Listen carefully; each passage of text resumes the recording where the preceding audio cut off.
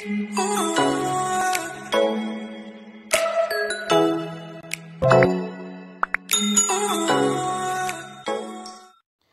day everybody! For today's lesson, we'll have the polygon. We will know whether that is polygon or not polygon, convex or concave polygon, and lastly, regular or irregular polygon.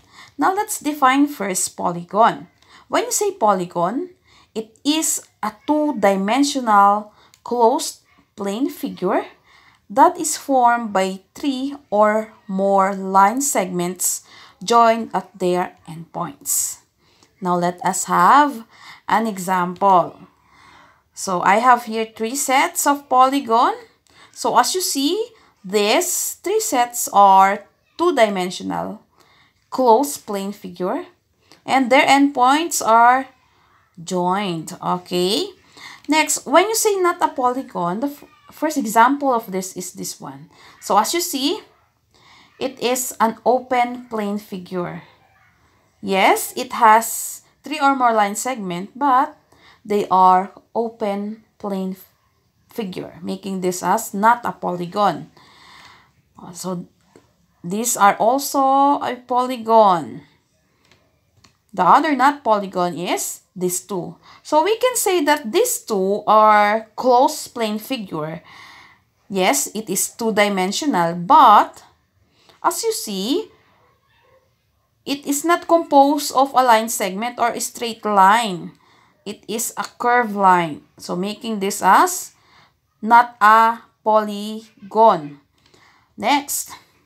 So these two are closed figure. Yes. As you see, this one has line segment, straight line segment.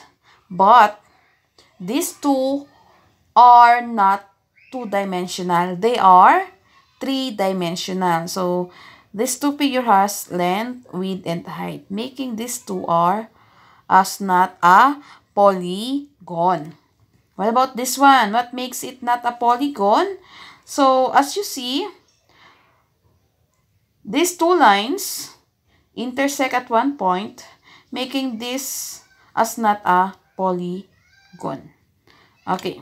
So, as you as we all know, polygon consists of vertices, angles, and side. Let us have this polygon. So this polygon has one, two, three vertices. Okay? And it has also one, two, three sides. And we have one, two, three angles. Again, this figure has three vertices, three sides, three angles. Now let us classify the other polygon by the number of sides they have. So, first figure or first polygon, we call this one as triangle. Okay, because it has three sides, three angles, and three vertices. Next, it has 1, 2, 3, 4. 4 sides, 4 angles, and 4 vertices. And we call it quadrilateral. So, quad means 4. Next, this polygon has 1, 2, 3, 4, 5. 5 sides, 5 angles, and 5 vertices. And we call this as pentagon. So, penta means 5. Next is this one. 1, 2, 3, 4, 5, 6. Six-sided polygon with six sides, six angles, and six vertices. We call this one as hexagon. So, from the word hexa, which means six. The other polygons are this one. So, this figure has 1, 2, 3, 4, 5, 6, 7. So, 7 sides, 7 angles, and 7 vertices. And we call this as heptagon. Okay, this one, it has 8 sides, 8 angles, and 8 vertices. And we call this one as octagon. Octa means 8. Next. So it has 1, 2, 3, 4, 5, 6, 7, 8, 9. 9 sides, 9 angles, and 9 vertices. And we call this one as nonagon. And we have 1, 2, 3, 4, 5, 6, 7, 8, 9, 10. 10 sides, 10 angles, and 10 vertices. We call it decagon. Okay? So, deca means 10. So, what about 11-sided polygon and 12 sided polygon. So when you say 12-sided polygon, it is dodecagon and 11-sided polygon undecagon. Now let us classify the polygon by convex or concave. So when you say that it's convex, a polygon is convex if no line that contains a side of the polygon contains a point in the interior of the polygon.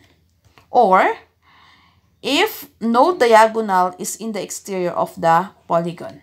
Now let us have this polygon, a quadrilateral and a hexagon.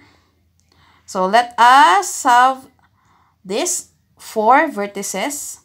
Let us have the diagonal. Plus, when you say diagonal, it is a line connecting to the non-corresponding vertices. Okay? So, so this one is the diagonal and the other diagonal is this one. So as you see, there is no diagonal outside the polygon. Now let us have, if we have this hexagon, let's draw the diagonal for each vertices. This one. Okay, so as you see, there is no diagonal on the exterior of the polygon making this as convex polygon. What about this one? Let us draw the diagonal. Okay, so as you see, there is no diagonal outside the polygon. That is why it is called convex polygon. Next, what about concave polygon? Example of this, we have here 1, 2, 3, 4, 5, 6, 7. Okay, heptagon. So, let's draw the diagonal. So, the green line are the diagonals of this heptagon. And as you see, this diagonal and the other diagonal is lying in the exterior of the polygon. So, nasa labas siya. Making this as concave polygon. Next, we have this one, the decagon with 12 sides. Let's draw the diagonal. Okay, but there are some diagonal outside the polygon. So this one, two, three, four. These four diagonals and other four diagonals touches the exterior of the polygon. So nasa labas ng polygon yung ibang diagonal, making this as concave polygon. Now, let us have regular or irregular polygon. When you say polygon that is regular, it is equilateral and equiangular. When you say equilateral, same measure of sides. And when you say equiangular, same angle measure. Let us have this example. If we have here triangle, so this is an example of regular polygon. Regular triangle has these three sides are equal in measure. As you see, there is a symbol which means they are congruent or equal. So equal sides and equal angles. And when you say a regular poly polygon, so as you see, the, the sides are not equal. Also, its angle are not equal. What about if we have regular quadrilateral? So this is a square. So a square has equal angle that is 90 degree angle. So as you see this angle is 90, 90, 90, and 90. And the four sides are also equal, making this as a regular polygon. What about irregular polygon? So as you see, this rectangle, the measure of their of its angle is 90, but the measure of the sides are not equal, making this as irregular polygon. And lastly, if we have this pentagon, as you see, these five angles are congruent. Five sides are also congruent. Okay, when you say irregular polygon, irregular pentagon, even though there are two pairs of equal angle measure, if you saw these lines, they are not equal. Okay, sides are not equal. The angles are not equal. Therefore, it is irregular polygon. Thank you for watching, guys.